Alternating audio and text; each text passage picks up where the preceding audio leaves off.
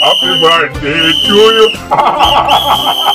Happy birthday.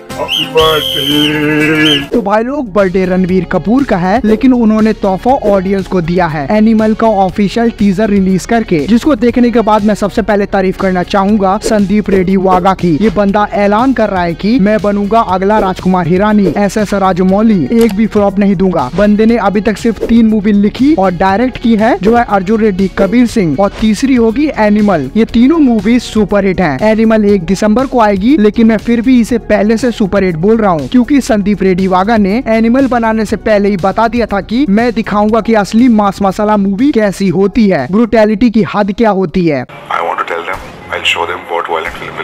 और ये बातें रेड्डी साहब ने यूँ ही नहीं बोली हैं। एनिमल का प्री टीजर और ऑफिशियल टीजर देख के तुम्हें भी यकीन हो जाएगा कि ये बंदा खोखले दावे नहीं करता। इसके अलावा मूवी सौ करोड़ के बजट में बनी है, लेकिन इसका प्री बॉक्स ऑफ़िस कलेक्शन सुन के तुम्हारे पैरों तले से ज़मीन खिसक जाएगी। इसके ऊपर हम लोग आगे बात करेंगे, क्यूँकी अब सीधे आते हैं इसके ऑफिशियल टीजर पे। तो हम लोग सबसे पहले टीजर से रश्मिका मंदाना को साइड करते हैं, क्योंकि पूरे टीजर में सिर्फ़ वो बीस सेकेंड दिखी है तो उनके ऊपर कुछ ज़्यादा बोलने को नहीं है, क्योंकि टीजर में तीन ऐसे बॉलीवुड जाइंट दिख रहे हैं जिन्होंने सबकी हाइप खा ली है। Acting wise character wise look wise सबसे पहले रणवीर कपूर। इस बंदे से राजकुमार हिरानी की संजू के बाद अगर किसी ने फाड़ परफॉर्मेंस निकलवाई है तो वो संदीप वागा रेड्डी है, जिन्होंने जिस ब्रुटैलिटी से फादर सन का कॉम्बिनेशन दिखाया है, वो ज़बरदस्त है। जब रणवीर कपूर के कैरेक्टर को टीजर में मार, काट, खून खराबा करते दिखाया जाता है तो उस जगह पे जो लाइन चल रही होती है, बुरा जो देखन मैं चला, बुरा न मिलिया कोई, जो दिल खोजा आप ना मुझसे बुरा न कोई तो उस जगह पे तुम बस ये बोलोगे कि ये कैरेक्टर पूरा एनिमल है। टीजर से ज़्यादा कुछ पता तो नहीं चलता, लेकिन ये ज़रूर क्लियर हो जाता है कि एनिमल ट्रबल्ड फादर सन के रिलेशनशिप के आसपास घूमेगी, जो किसी तरह से अंडरवर्ल्ड से रिलेटेड होगी। रणबीर कपूर का कैरेक्टर एक बहुत अमीर फैमिली में पैदा होता है, लेकिन उसके साथ बहुत ही बुरी चीज़ें होती हैं, जिसके बाद वो एक प्रोटोगोनिस्ट से एक बहुत खूंखार साइकोपैथ बन जाता है, जिसके नाम से पूरा अंडरवर्ल्ड कापेगा। इसके अलावा टीजर में एक और बहुत खास चीज़ दिख रही है, वो है बॉबी देवल उनका लुक स्वैग और बॉडी देखकर तुम्हारे मुँह से बस ये निकलेगा।